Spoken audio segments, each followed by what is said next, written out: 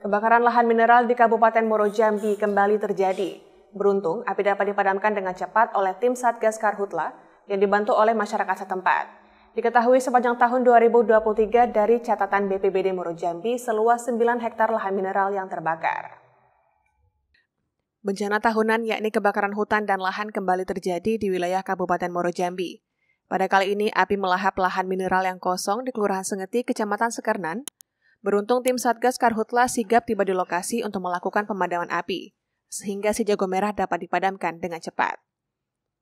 Atas kejadian tersebut, Kasih Pencegahan dan Kesiapsiagaan BPBD Moro Jambi, Muhammad Zuhdi mengatakan, setidaknya ada sekitar 10 tumbuk luas yang terbakar. Lahan mineral yang terbakar tersebut merupakan kawasan eks Pertamina. Sejauh ini, tim masih melakukan pendalaman penyebab dari kebakaran yang terjadi di lokasi kebakaran kita mengalami kesulitan, terutama kesulitan air. Memang kita dalam keadaan sekarang ini keadaan dalam uh, kemarau, memang sumur-sumur maupun kolam di lokasi kebakaran mengalami kekeringan. Sepanjang tahun 2023, dari catatan BPBD Moro Jambi seluas 9 hektar lahan mineral yang terbakar.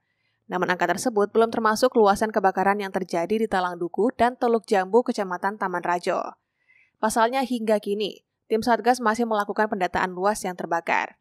Catatan 9 hektar luas kebakaran yang dimiliki BPBD tersebut tersebar di wilayah Kumpe, Marosebo, Sekarnan, dan Mestong.